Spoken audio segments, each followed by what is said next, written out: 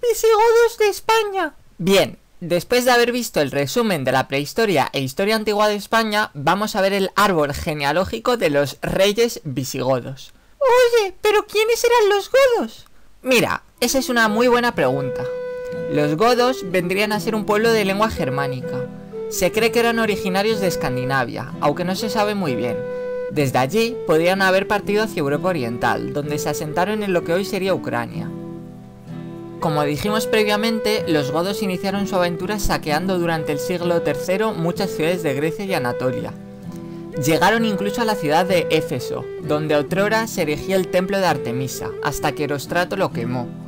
¿Y por qué lo quemó? Bueno, esa es una historia muy interesante, la contamos en uno de nuestros vídeos del canal. Volviendo al tema, como ya dijimos en el resumen de la prehistoria e historia antigua de España, el emperador Constantino llegó en el año 10.332 a un acuerdo con Ariarico, juez godo de los Tervingios, con el que comienza el linaje de los reyes godos.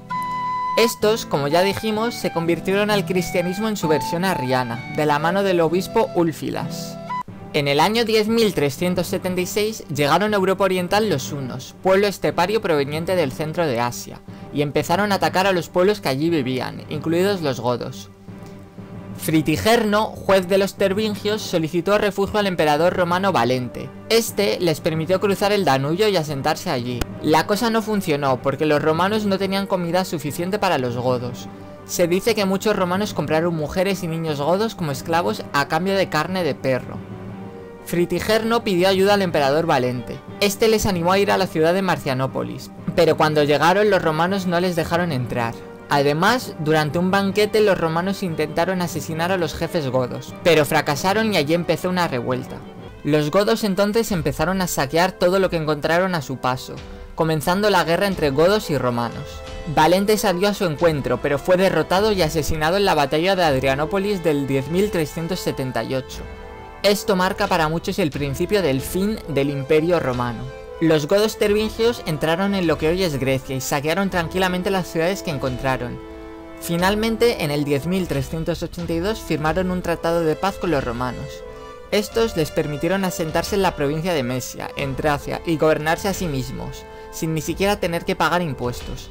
A cambio, los godos serían aliados y lucharían del lado de los romanos.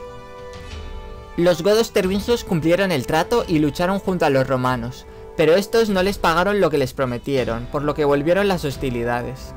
En el año 10.395, el caudillo Alarico I, de solo 25 años de edad, fue proclamado rey de los visigodos. Este rey inició ataques contra Grecia, donde saqueó casi todas las ciudades griegas fue el fin de Esparta, entre otras muchas ciudades, que fue arrasada y cuya población fue vendida como esclava. Atenas se salvó por pagar tributo, como decimos, era el final de la civilización grecorromana. Los romanos lo único que pudieron hacer fue ofrecer paz y territorios, así, Alarico obtuvo la región de Iliria, entre el Imperio Romano Oriental y el Occidental, que estaban divididos entre los hermanos Arcadio y Honorio respectivamente.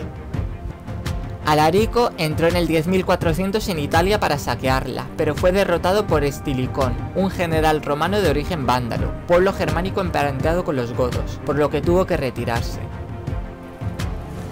Estilicón era cada vez más popular y poderoso, pero en el 10.408 fue ejecutado por órdenes del emperador, haciendo caso a las sospechas y acusaciones en contra suya que tenían muchos romanos.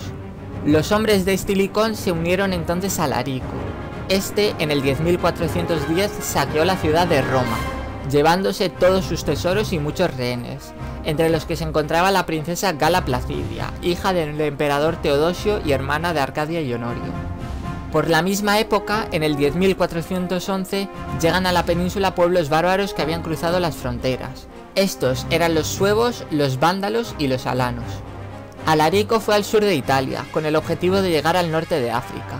Sin embargo, murió. Se cree que por enfermedad, y fue enterrado en un lugar secreto en la región de Calabria, junto a muchos de sus tesoros. A Alarico le sucedió el rey Ataulfo. Este llegó a un acuerdo con el emperador Honorio y se estableció en el sur de la Galia. En el 10.414 se casó con la princesa Gala Placidia, hija del emperador Teodosio y hermana de Arcadio y Honorio.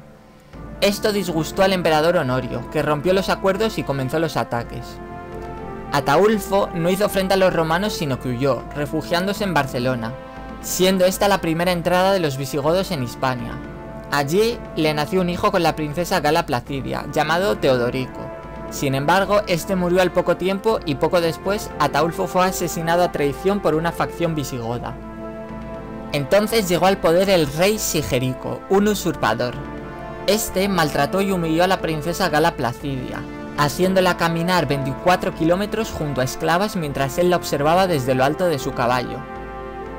Como Daenerys en Juego de Tronos. Sí, pero el reinado de Sigerico no duró mucho. A los siete días fue asesinado y los visigodos eligieron rey a Balia, hermano de Ataulfo.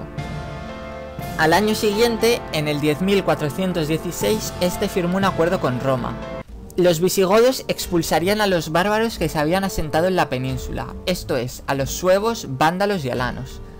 A cambio, podrían asentarse en el actual sur de Francia y establecer un reino propio federado con Roma.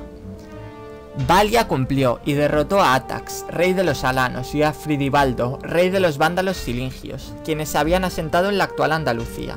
También arrinconaron a los suevos en el noroeste peninsular. Roma también cumplió, y así en el año 10.418 se creó el reino visigodo de Tolosa. A la muerte de Valia fue elegido rey Teodorico. Este rey gobernó durante muchísimo tiempo como aliado de Roma. Durante estos años los unos se hicieron muy poderosos. En el 10.434 llegó al poder el rey Atila, quien se dedicó a saquear y a masacrar a todos los pueblos bárbaros de Europa. Después cruzó las fronteras del imperio e hizo lo mismo, cobrando además inmensos tributos. Finalmente se lanzó con el objetivo de conquistar el imperio romano y entró en la Galia. Allí saqueó las ciudades del imperio romano hasta que una coalición de romanos comandados por el general Flavio Ecio y de visigodos comandados por el rey Teodorico junto a francos comandados por el rey Meroveo fundador de la dinastía merovingia y algunos alanos, burgundios, sajones y sármatas se enfrentaron a Atila, derrotándole en la batalla de los campos cataláunicos del 10.451. En medio de esta batalla murió Teodorico y los godos coronaron rey a su hijo Turismundo. Turismundo no gobernó mucho, pues fue asesinado por su hermano el rey Teodorico II. Este luchó contra los suevos, pero tampoco duró mucho. Fue también asesinado por su otro hermano, el rey Eurico. Este rey siguió luchando contra los suevos y conquistó mucho territorio en Hispania. Fue él el que vivió el final del Imperio Romano de Occidente, cuando el bárbaro Erulo Odoacro destronó al último emperador de Occidente y se proclamó rey de Italia. Eurico también es famoso por la publicación del Código de Eurico, un conjunto de leyes para el reino. A su muerte le sucedió su hijo, Alarico II. Este fue atacado y derrotado por Clodoveo I, rey de los francos perteneciente a la dinastía merovingia. Con ello, los visigodos tuvieron que salirse de la Galia, a excepción de la narbonense. ¿Y eso qué es? Pues básicamente una angosta franja costera en el Mediterráneo de la actual Francia. De esta manera, el reino visigodo pasaría a estar centrado en Hispania. La capital inicialmente se quedó en Narbona, más adelante se movería a Toledo. Le sucedió su hijo Gesaleico, pero este fue destronado por el rey de Italia Teodorico el Grande, quien puso como rey a Malarico, nieto suyo y hermano de Gesaleico. Este era menor de edad, por lo que durante este tiempo los ostrogodos de Italia fueron los auténticos gobernantes de Hispania. Destaca Teudis, un ostrogodo mandado directamente por Teodorico para gobernar. Teodorico el Grande muere en el 10.526 y entonces comienza el verdadero reinado del rey Amalarico, desplazando a Teudis. Se dice que no era buen rey, se casó con la hija del rey franco Clodoveo, pero esta era católica y no quería convertirse al arrianismo, por lo que Amalarico la maltrató. Esta pidió entonces ayuda a los francos, y estos derrotaron a los visigodos en lo que fue un desastre. Amalarico no confiaba en Teudis y le desplazó del poder, por lo que este, harto, ordenó matar a Amalarico y se proclamó rey. De esta manera se pondría fin a la dinastía Valtingia, del linaje de Alarico I. Se dice que Teudis fue un buen rey, pero igualmente fue asesinado. Tras ello vino un periodo turbulento, de muchos reyes y guerras civiles. Los bizantinos aprovecharon este momento para recuperar algunas de sus posesiones en el sur. se sucedieron los reyes Teudiselo, Ágila I y Atanagildo. Este último es importante porque fue él el que convirtió a Toledo en la capital oficial del reino, aunque lo cierto es que llevaba mucho tiempo siendo importante. Atanagildo no murió asesinado, sino de enfermedad, por lo que a su muerte no había ningún candidato a rey. Los nobles estuvieron cinco meses debatiendo y al final eligieron rey a Liuba I. Liuba coronó a su vez correy a su hermano Leovigildo, por lo que hubo dos reyes a la vez. Liuba se quedó en el norte mientras que Leovigildo luchó contra los bizantinos en el sur, conquistando muchas ciudades. A la muerte de Liuba en el 10.572, Leovigildo se convirtió en el único rey y empezó a usar los símbolos monárquicos. Se coronó con una corona y vistió un manto imperial, además de sentarse en un trono, todo a imitación bizantina. También acuñó moneda con su efigie coronada. Siguió luchando durante su reinado contra los suevos, a los que finalmente derrotó, poniendo fin a su reinado, y también luchó contra los bizantinos y contra los pueblos cántabros del norte, que se resistieron a la dominación visigoda. También publicó el Código de Leovigildo, con una serie de leyes muy importantes en las que se legalizaban por primera vez los matrimonios mixtos entre godos e hispano-romanos. Leovigildo buscaba con ello unificar a todo su pueblo en una única nación. Por todo ello, es considerado por muchos como el auténtico primer rey de España. Sin embargo, aún quedaba el problema de la unidad religiosa, pues los godos eran arrianos y los hispano-romanos eran católicos. Esto causó problemas cuando el príncipe Hermenegildo, hijo de Leovigildo, se convirtió al catolicismo por influencia de su esposa, una princesa franca. Hubo una pequeña guerra civil, que acabó con Hermenegildo rindiéndose, fue apresado y finalmente, tras negarse a reconvertirse al arrianismo, ejecutado. Más adelante fue canonizado santo de la Iglesia Católica como patrón de los conversos. A Leovigildo le sucedió entonces su hijo Recaredo. Este se convirtió finalmente al catolicismo en el año 10.589 en el Tercer Concilio de Toledo. Se dice que lo hizo por consejo de su padre, quien se dio cuenta de que los hispanos nunca se convertirían al arrianismo, por lo que los godos debían hacerlo al catolicismo. Después de Recaredo hubo un periodo oscuro con muchos reyes poco importantes. A Recaredo le sucedió su hijo Liuba II, pero fue depuesto por el usurpador Viterico. Se piensa que este era arriano y quería restaurar el arrianismo, pero no gobernó mucho y fue asesinado en un banquete. Entonces eligió rey a Gundemaro, quien murió poco después. Fue sucedido por el rey Sisebuto y después su hijo Recaredo II, durante el reinado del primero se promulgaron leyes que quitaban derechos a los judíos. Los siguientes reyes promulgarían leyes aún más radicales contra ellos. Después, en el 10.621, llegó el rey Suntila, quien unificaría la península ibérica al derrotar por completo a bizantinos y a vascones. Sin embargo, tampoco duraría mucho, pues fue depuesto por el rey Sisenando. Después le sucedieron los reyes Chintila y su hijo Tulga, y después los reyes Chindasvinto y su hijo Recesvinto.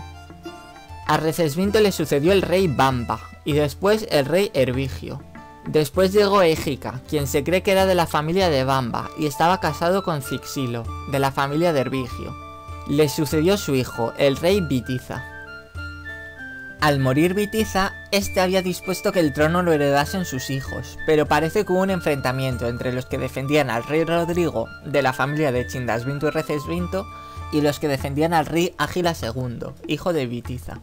Inicialmente ganó Rodrigo, que se convirtió en el rey de la España visigoda en el 10.710, mientras que Ágila II quedó en el noreste.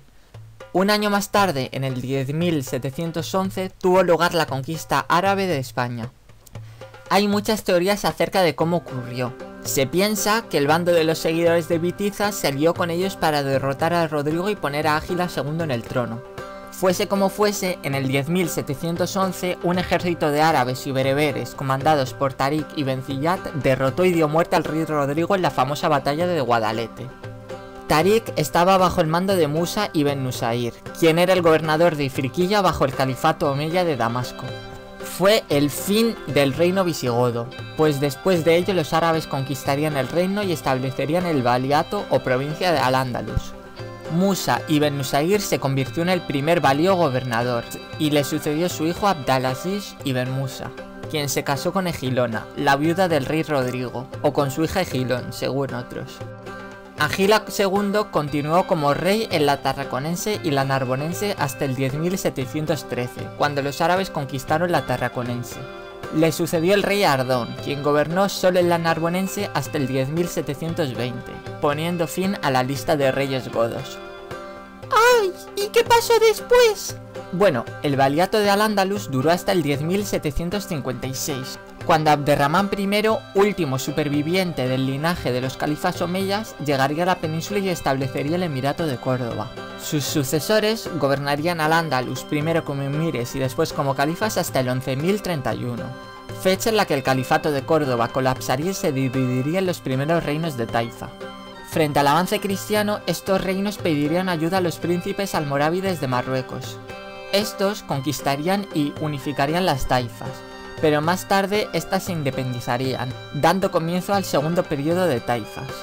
Estas volvieron a ser conquistadas, ahora por los califas almohades de Marruecos. Pero estos últimos serían derrotados por los cristianos dando lugar a los terceros reinos de taifas, que serían conquistados en el siglo XIII, a excepción del reino de Granada, que aguantaría como vasallo de Castilla hasta el 11.492. Paralelamente, en el norte, don Pelayo de Asturias y el duque Pedro de Cantabria, descendientes patrilineales según una crónica de los reyes visigodos Leovigildo y Recaredo, fundarían el reino de Asturias, como veremos próximamente.